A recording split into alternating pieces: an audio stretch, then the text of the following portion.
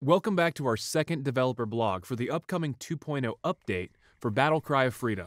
This week, we're excited to share one of the most highly requested features that is coming to the game gore and blood. With a 2.0 patch, players can expect to see new and improved death and wounded animation. The animations are designed to work in conjunction with our existing ragdoll system.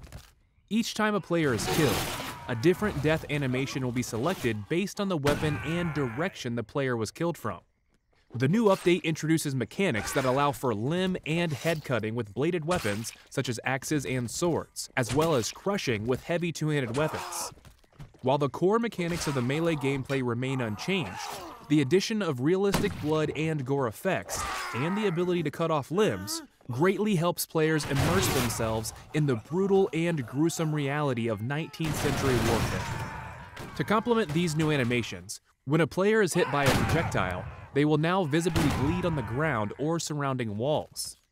There is a chance that they will not die immediately, but instead lay on the ground and slowly bleed out.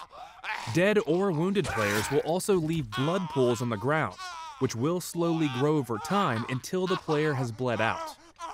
We've also added unique death animations for players who meet their demise from the environmental hazards, such as fire or bees. These animations will add realism to the game and make the battlefield experience more immersive and intense. Another exciting new feature in the 2.0 update is the ability for players to get knocked down and for surgeons to revive knocked out players. When a player is hit, there is a chance that they will not be killed outright, but instead knocked down. Knockdown players will lay on the ground and bleed out until a friendly surgeon comes by and revives them.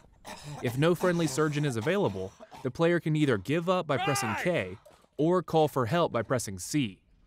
In the 2.0 update, artillery will be even more devastating.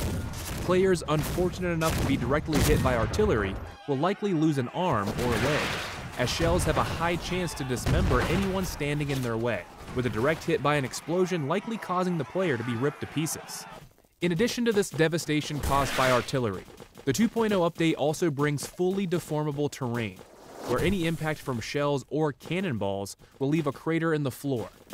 Engineers now have the ability to dig trenches, create embankments, and construct redoubts using their shovels or pickaxes. Shovels can be used for digging and creating embankments, while pickaxes can only be used for digging, but at an increased rate.